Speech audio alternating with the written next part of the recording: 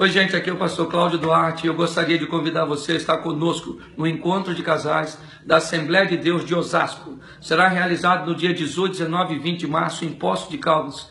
Casamento, o maior espetáculo do amor. Esteja conosco, com certeza será um momento de bênção para sua casa, para sua família. Eu aguardo você. Graça e paz.